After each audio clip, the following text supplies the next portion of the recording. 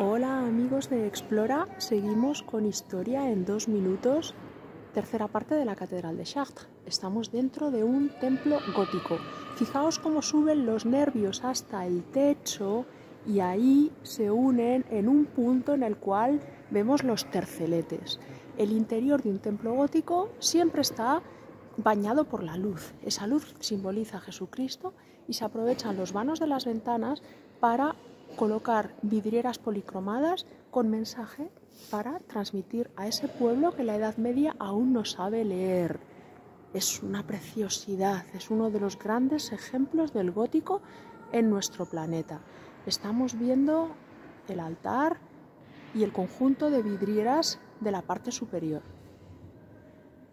Dentro de la Catedral de Chartres hay un conjunto escultórico impresionante del siglo XVI, en el cual os podemos enseñar muchas cosas. Por ejemplo, la dormición de la Virgen. Aquí tenéis la ascensión. La aparición de Cristo, la aparición de Cristo a su madre. La incredulidad de Santo Tomás. Jesús con Pilatos y a nuestra derecha la flagelación de Jesucristo. Para que los escultores supieran cuándo tenían que empezar y terminar de esculpir cada día, aquí tenemos un reloj astronómico también del siglo XVI y que regía las horas y los ritmos de trabajo. Mirad qué sorpresa, en esta capilla de la Catedral de Chartres, Enrique IV de Francia, el primer rey Borbón, fue coronado rey de Francia un 27 de febrero de 1594.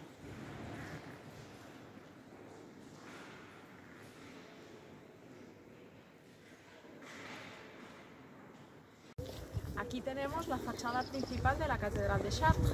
Fijaos en todos esos elementos que tienden a la verticalidad para recordarnos que lo más importante, la mentalidad medieval, estaba allí arriba, era Dios, en el conjunto escultórico e imaginaos cómo luce esta fachada cuando proyectan luces de colores para que nos hagamos una idea de la policromía.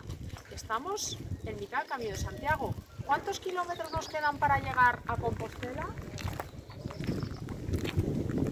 1625 desde Chartres. Algún día iremos.